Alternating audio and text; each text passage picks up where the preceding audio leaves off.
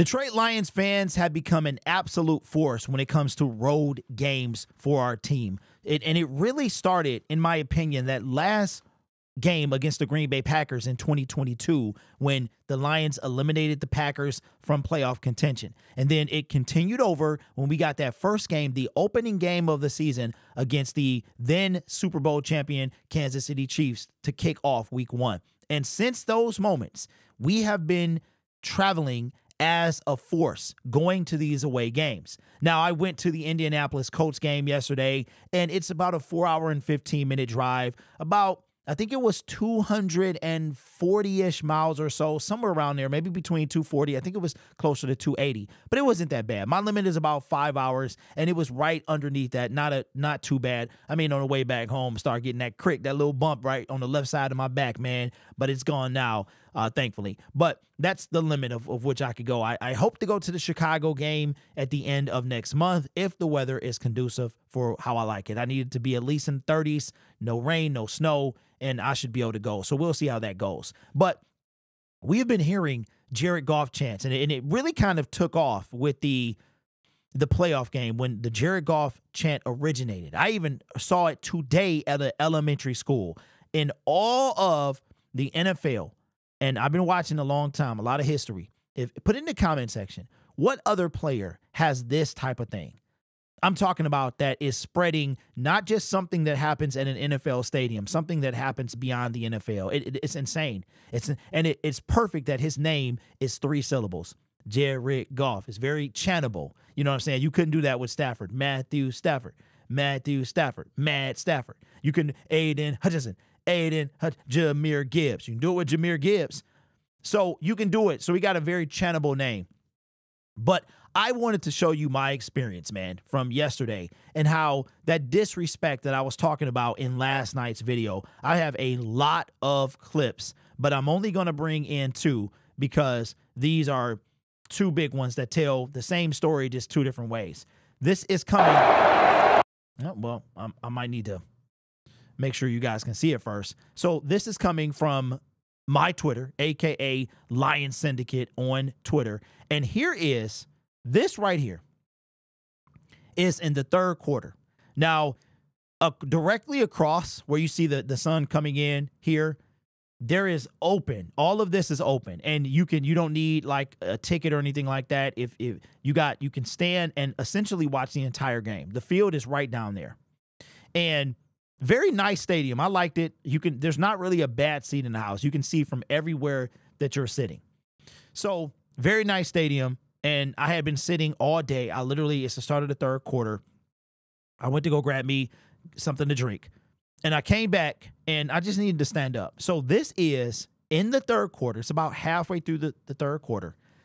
This is a fourth down for the Indianapolis Colts offense. I want you to listen to this. Check this out.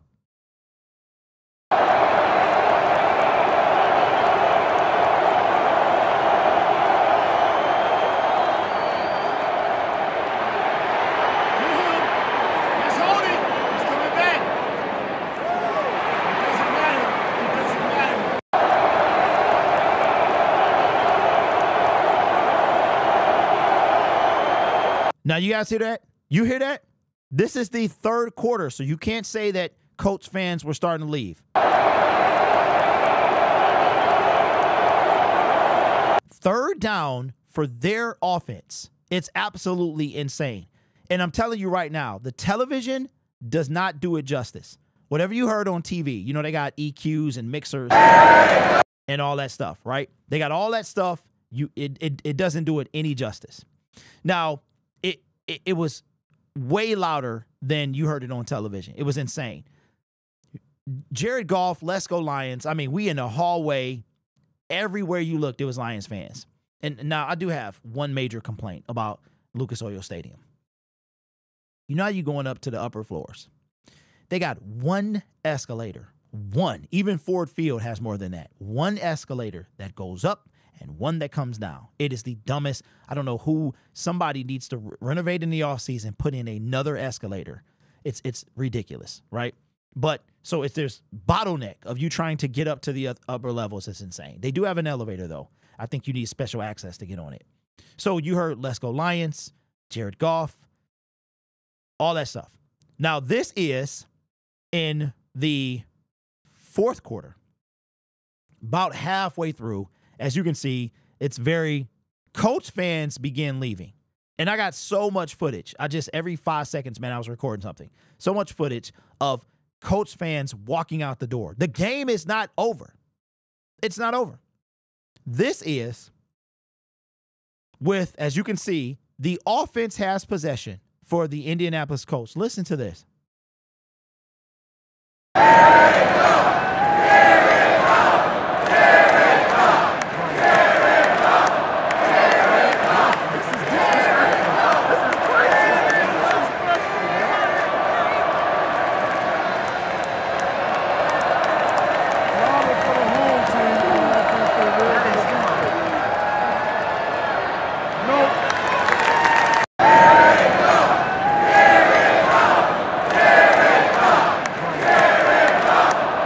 Again, this is when the home team has possession or at home. It was like a home game for the Detroit Lions. It was like a, and here's the beauty part. In Ford Field, I want you to take a, a note to this. The Jared Goff chance, let's go Lions, was starting when they were even on offense, the Lions that was. And soon as Jared Goff started walking up under center, they just stopped. That does not happen like that at Ford Field. I don't know what it is, but this is, of course, the stadium is emptying out. So now it's 90% Lions fans. We had uh, there was some there was a person sitting next to us literally said the game is over. We're they they left because we were in in, in, in you know the, the seating is tight at the stadiums. They got to get 60,000 people in there. So we had Colts fans on the end, some Colts fans down here, and a group of us Lions fans were bunched in the middle. And they left in the third quarter. They was like, it's over. We're gonna take off. And they start a mass exodus of people. And it's it's like late third, not even the fourth quarter, and they're gone. And then at that time, it was we weren't going nowhere. It was probably the first time I sat and just was taking it all in. The Colts game was nothing. The Arrowhead, nail biter. The the Minnesota game last season, nail biter. Went down to the end.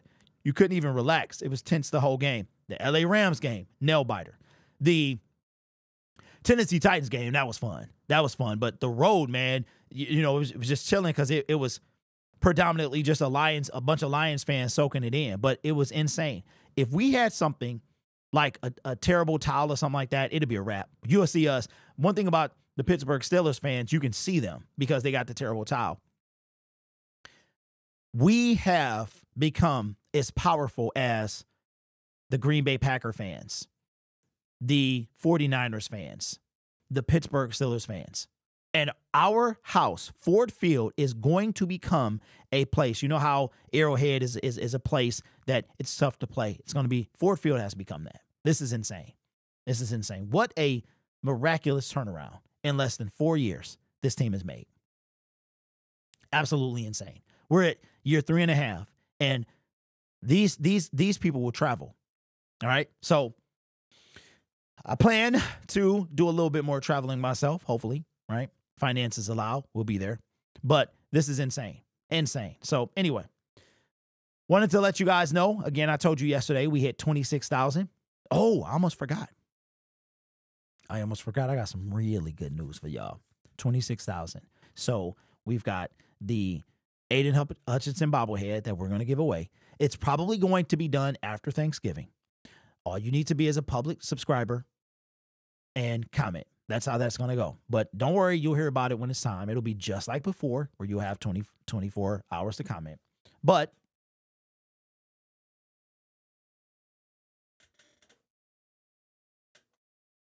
oh, this box is empty. Shout out to one of my subscribers. I'll just call you B for, you know, if you want to put who you are in the comment section and you watch this video, you can. I just don't want to Got a Calvin Johnson. Met me.